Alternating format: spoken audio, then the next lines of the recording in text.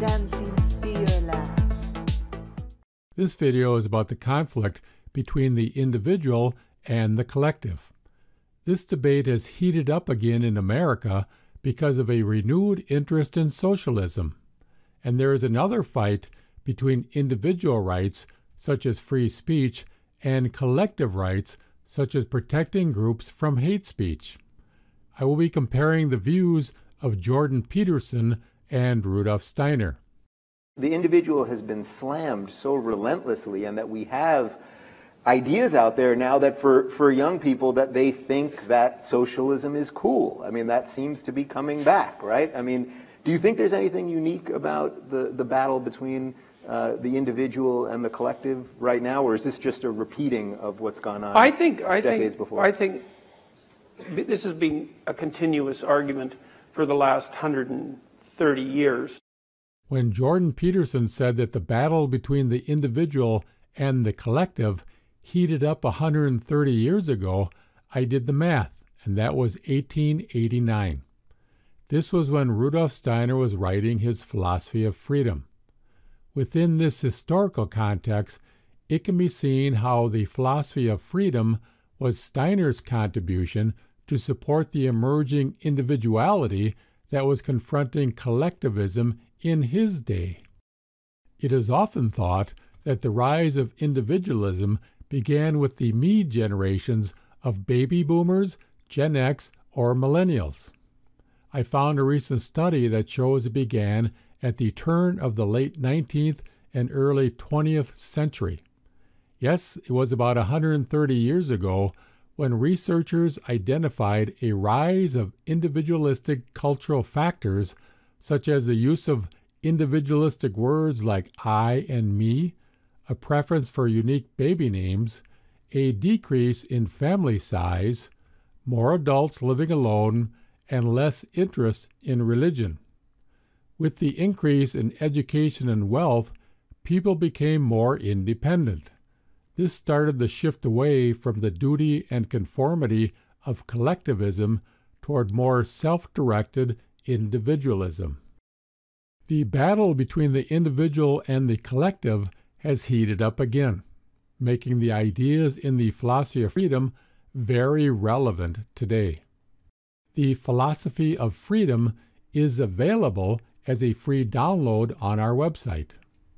Jordan Peterson sees the sovereignty of the individual as the fundamental value in the Western world that favors the individual over the collective. Yeah, well, I've been making the case, I suppose, or, or developing the argument. And it's an argument everybody knows to some degree, although I don't think we've done a very good job of articulating it um, over the last few decades. That you know, it's it's no secret that our free societies, or the free societies of the world, are predicated on the idea of the sovereign individual, right? And and it's also, in some sense, the derivation source of the idea of rights, the fact that the individual is sovereign, the individual has inalienable rights. Rudolf Steiner also places the individual at the center. He wrote, The human individual is the source of all morality and the center of all life.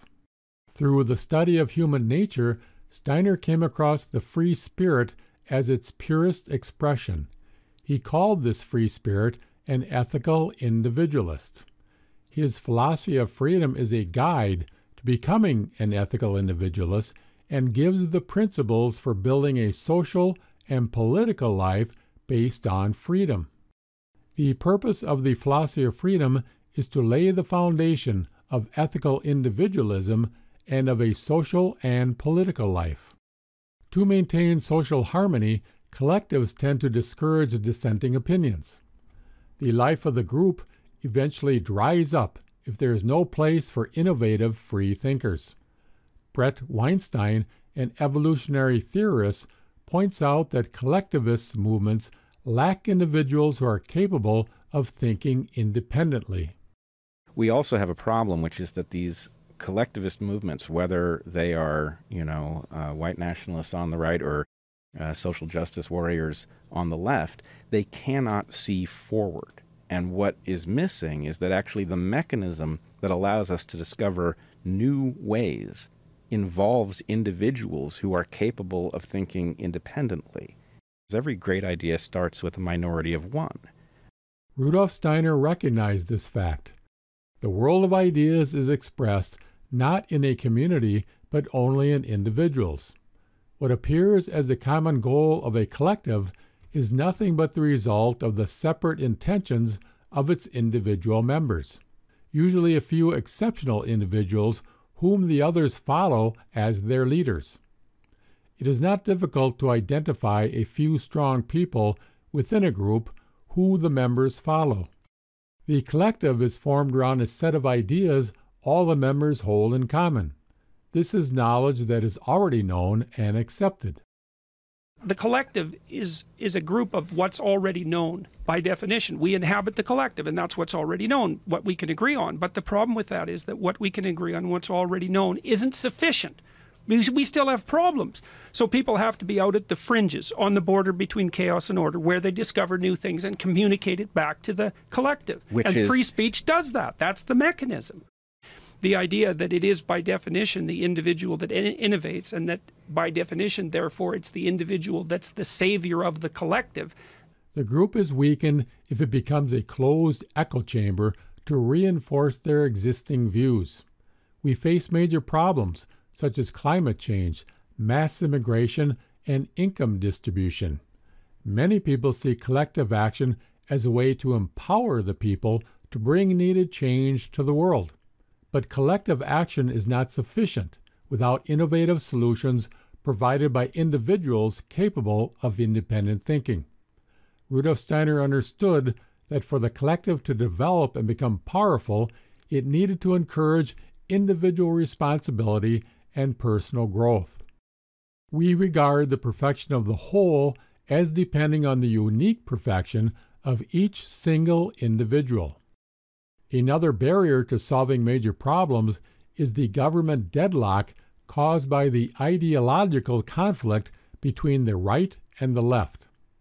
Jordan Peterson sees a third way. It is the way of the heroic individual. And it was about whether or not there was any alternative to ideological conflict, because you could make a case that there isn't. There's right and there's left and there's a war, right? But there is a third way, and I think that is the way of the heroic individual, and I mean that technically. And that that involves the development of individual character so that you can say what it is that you think, that you can articulate your experience properly, and that you can bring what it is that's unique to you into the collective landscape. And that's what updates the collective landscape. It's absolutely vital. Steiner's ethical individualist is the heroic individual. The original edition of the Philosophy of Freedom opens with the principles of individuality. The saying, each one of us must choose his hero in whose footsteps he toils up to Mount Olympus, no longer holds true for us. In our age of individualism, we do not choose a hero to follow. The individual finds his own way. But life is difficult and painful. It is easy to become resentful and fall into victimism and take shelter within family and community. Struggles are part of the hero's journey but it is each person's destiny to continue the climb up Mount Olympus. We allow no ideals to be forced upon us. The collective right and the collective left demand ideological purity. The heroic individual does not conform to collective group think. He remains independent and selects his own ideals. We are convinced that in each of us if only we probe deep enough into the very heart of our being, there dwells something noble, something worthy of development. Steiner and Peterson both accept the inner sovereignty of the individual that, if developed, can restore and renew the community through the pursuit of truth, strength of character, and noble acts. See, the problem with being just a group member is that the group it's the problem with conservatism. The group is a fixed entity. It has its rules and its regulations, and if you're a member, that's all you are. But the group can go badly wrong, so the group needs individuals to keep the group alive and revivified. So you have to become an individual so you can revivify the group. that's the call. To, that's the call in the West to, to heroism, essentially, to a noble way of living, is to develop yourself past your group identity so that you can reconfigure the game when that becomes necessary. Steiner wrote about overcoming group identity 130 years ago. All members of the tribe exhibit the characteristics that are conditioned by the nature of the tribe. The character and general behavior of the single member are determined by the character of the tribe. However, the human being frees himself from these typical characteristics. An individual develops his own traits and roles for reasons that can only be found in himself. What is typical in him serves only as a medium in which to express his own individuality.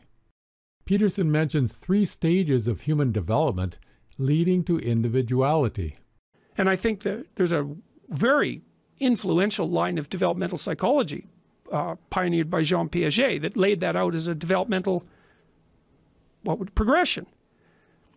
First, you're a child, then you're a member of a group, then you're an individual. It's like get to the individual level. That's the solution. It's the solution to tribalism. But you have to accept responsibility to do that. Steiner also discussed the three stages of human development. The group can only bring a person so far. The final stage of individual development can only be attained by the individual himself. The human being remains in his undeveloped state until he takes hold of his own transformation through his own power. Nature makes a person merely a natural creature. Society makes him obedient to rules and laws. Only he alone can make himself into a free being. At a certain stage of his development, nature releases the human being from her chains. Society carries his development a stage further. He alone can give himself the final polish. Many of Peterson's ideas are in the philosophy of freedom. Rudolf Steiner originated and organized the principles of individuality into the philosophy of freedom 130 years ago. These ideas are repeated today because these basic principles are still valid. How can these ideas of freedom and individualism lead to a peaceful society? The social justice movement is divisive because it categorizes people into groups according to ethnicity, sex, or racial identity. The social justice warrior types and the lefties, even the Democratic Party, started categorizing everybody according to their ethnic or sexual or racial identity and made that the canonical element of their being. And that's an absolutely terrible thing to do. And all of these things that you hear about now, like white privilege, for example, they're they're they're variants of collective guilt. I I I pick your bloody identity, whatever it happens to be, and then I make you a guilty member of that category, and then you and the rest of the guilty members of that category are judged as a as a unit. The social justice movement sets one group against another and attacks individual rights. It will never lead to a peaceful society. The only lasting peace will be when each person's freedom is assured. Freedom is the only word which has a ring of immediate truth today. If instead of such slogans as peace founded on justice or peace imposed by force, people would only speak of peace based on freedom, then this word would echo round the world and kindle in the hearts of all a sense of security. Jordan Peterson and Rudolf Steiner agree. Only heroic individuals can save us from the threat of collectivist movements that always have and always will result in the forceful oppression of the individual. We see it now when the members of the social justice movement pressure institutions to suppress the individual right of free speech and demand jobs and positions be awarded according to ethnicity, sex, or race rather than individual merit. If you are interested in learning more about Jordan Peterson and the philosophy of freedom, subscribe to this channel.